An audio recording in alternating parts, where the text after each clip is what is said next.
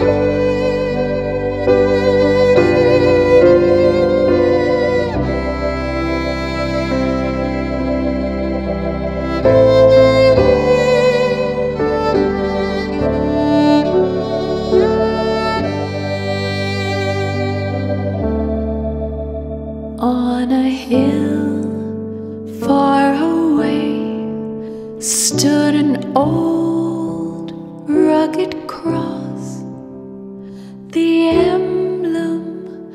of suffering and shame. And I love that old cross where the dearest and best for a world of lost sinners was slain. So Cherish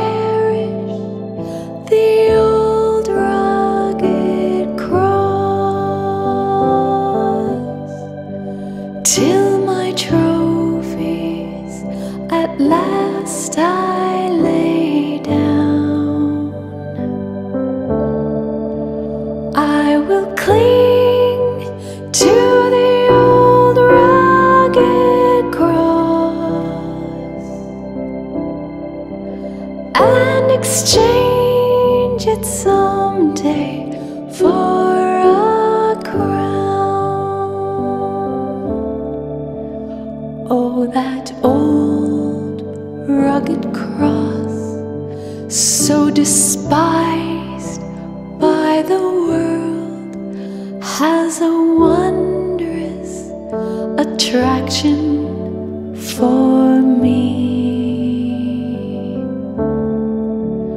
For the dear Lamb of God left his glory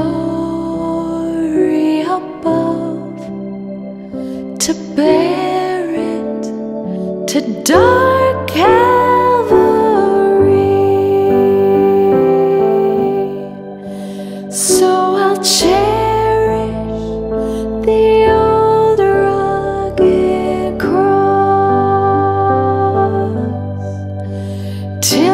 trophies at last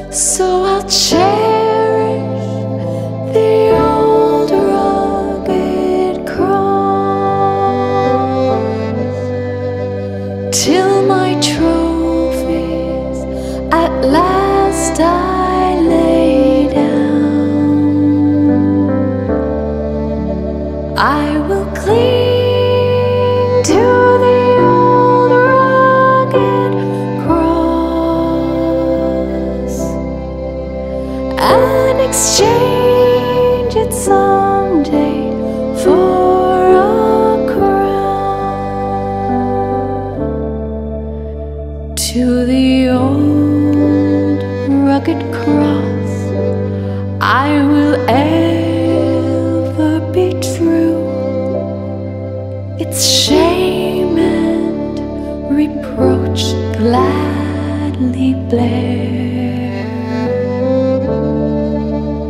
Then he'll call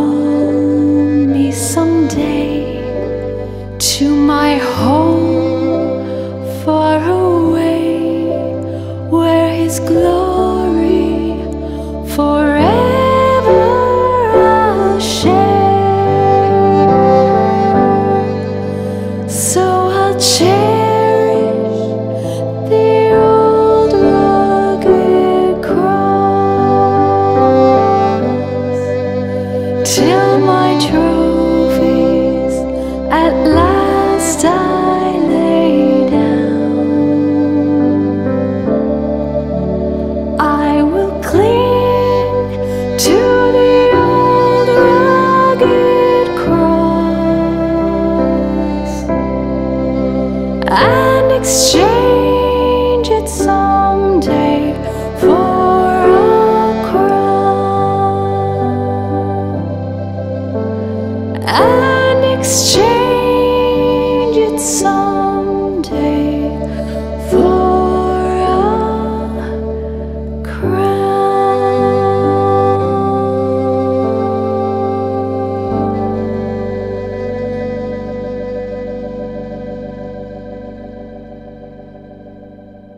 Thank you so much for watching this week's Worship Wednesday. I hope you enjoyed one of the most beautiful and powerful hymns in the world, The Old Rugged Cross. This song was written in 1913 by George Bennard. And George was a preacher, and he was also a singer. And George realized that he wanted a greater understanding of the cross. And so I wanted to share this with you. I was praying for a full understanding of the cross. I read and studied and prayed. The Christ of the cross became more than a symbol. It was like seeing John 3:16 leave the printed page, take form and act out the meaning of redemption. While watching this scene with my mind's eye, the theme of the song came to me. What a gift God gave George in that moment. A song that has touched millions and millions and millions of people around the world. I know it's touched me. And so I just encourage us to think about the true meaning of the cross and what God did for us and cling to the words of John 3:16. For God so loved the world that he gave his only begotten son that whosoever believeth in him shall not perish, but have everlasting life. What a gift God gave to us. I hope you enjoyed this. If you did, please share it with a friend. And thank you so much for tuning in to Worship Wednesday.